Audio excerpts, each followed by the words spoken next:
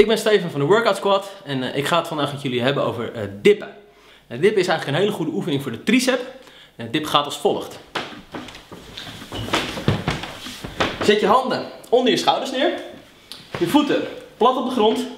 En je doet de oefening door je billen te laten zakken naar de grond toe en daarna je triceps of je arm eigenlijk uit te strekken. Dus dit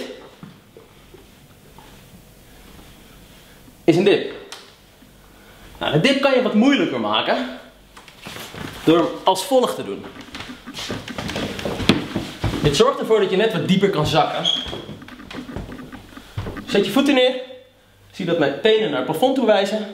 Zak en kom omhoog. Nou, let op mijn armen hierbij.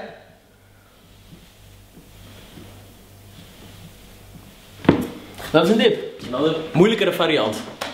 Mijn naam is Steven van de Workout Squad. Dit was het dippen. Heb jij vragen of opmerkingen hierover?